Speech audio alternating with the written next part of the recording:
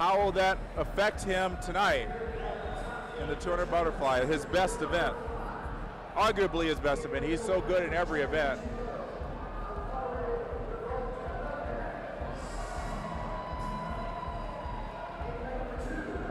Hard thing is trying to figure out what his best event is, but because he had the world junior record in this event, 155.92, I would say 200 fly is his best event, but he's been swimming very well across the board. And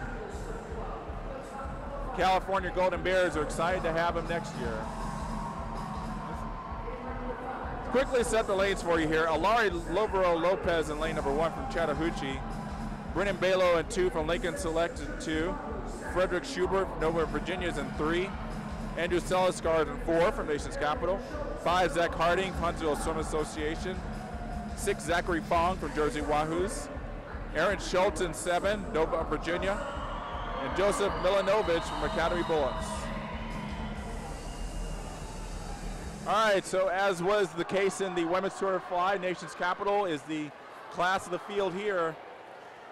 We'll see what Seliskar has in him he didn't back off in that 100 breaststroke, so let's see what kind of energy he has here tonight in the 200 butterfly.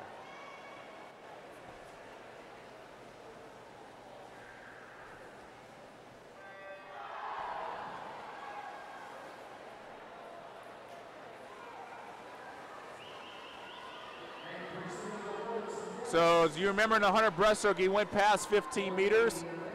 It's not against the rules to do that, but you must come up before 15 meters on butterfly, so he can't just kick out forever.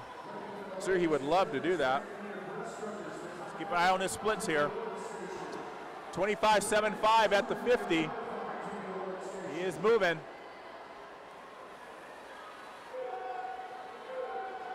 I'll let you know what the national age group record is for the 17 to 18 age group. It's 153.93 by none other than Michael Phelps. He did that in 2003.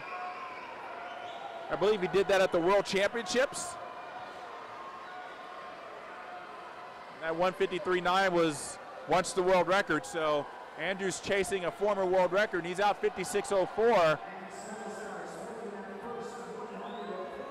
I am not. I, he's going to be right on his best time, I think. That depends on how he swims this.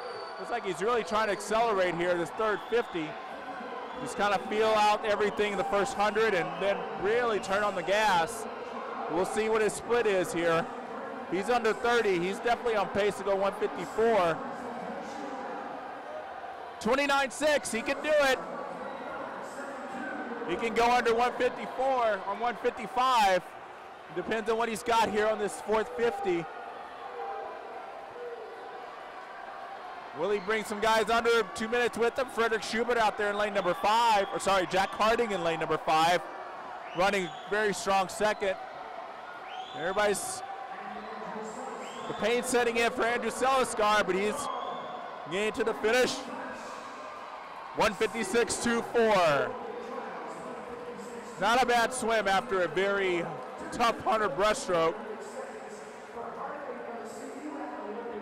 And then Zach Harding second, 20014, almost under two minutes. And then third, Frederick Schubert, 201.72. That's also just barely under the Olympic trials qualifying time. So we had three guys under trials time, led by Andrew Seliskar. Very good swimming for him. Again, very tough night for him. 100 breast and 200 fly, two very tough events, and he did not back off on either of them.